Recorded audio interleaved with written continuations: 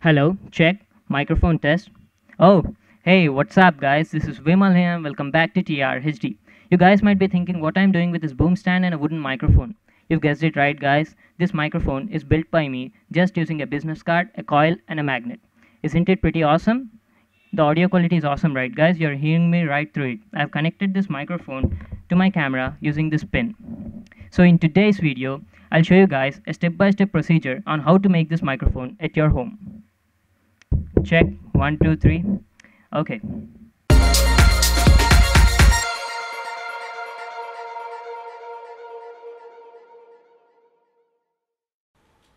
Okay let's start making this microphone guys. These are the components you need to make this microphone.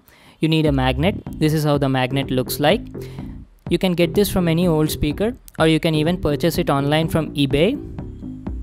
You need a voice coil you can make your own voice coil at your home. It is very easy to make one. You just need some paper and a 40 gauge copper wire. You need to wind this 40 gauge copper wire onto this paper. You need to, you need to wind approximately 200 turns. I won't be showing you how to make this voice coil because it will take some time. You need one business card which will act as a diaphragm and you need a 3.5 mm socket which is used to connect the microphone to the camera. So let's start making one. Now you need to attach the coil to the diaphragm. Cut the paper as I am doing. Now bend the paper. You need to apply glue over the paper and stick it to the diaphragm. This is how the coil should look like. Now apply glue over it now stick this coil to the diaphragm, just like this. And hold it firmly. So this is how the diaphragm will look like after attaching the coil to it.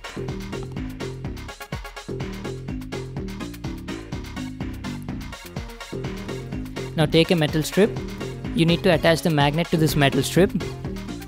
Take a piece of tape and attach the metal strip to the magnet, just like this. Now you need to bend the metal strip. Bend the metal strip just like this. Watch carefully. This is how it should look like. Now you need to attach the metal strip and the magnet to a wooden stick. We are using this wooden stick to hold the microphone. Just use a screw and a washer to fix the metal strip into the wooden stick. Now put some extra tape over it so that it won't move. This is how it should look like. Now we need to fix the diaphragm over the magnet and we need to align the coil in its correct position. Use pieces of tape and attach the diaphragm to the metal strip.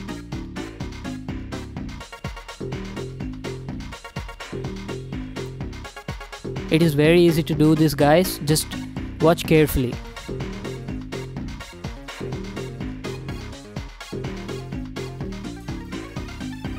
Now take two pieces of wires and attach them to this wooden handle.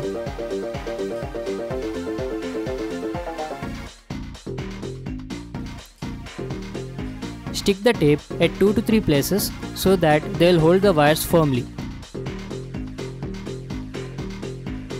Now bend the wire in this way so that you can solder these wires to the leads of the voice coil easily. Now solder the ends of the wires to the voice coil. Solder the black wire to one end of the voice coil. Now solder the red wire to the other end of the voice coil.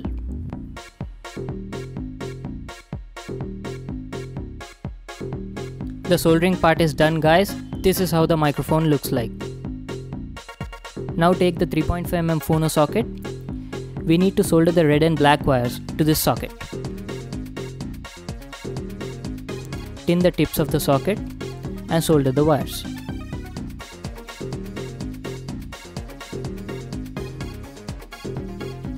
This is how it should look like.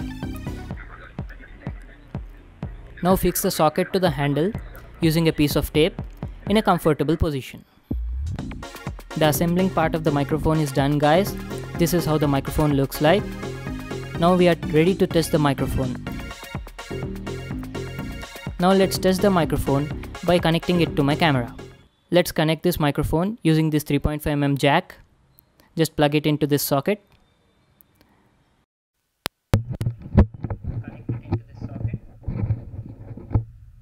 Can you hear it guys? Hello, check. 1, 2, 3. Microphone test. How is it guys? Isn't it awesome? A microphone using a business card. It's pretty awesome guys. Thanks guys for watching my video. Now you can make your own microphone at your home. Hit the thumbs up button, subscribe and stay tuned to my channel for more new awesome videos.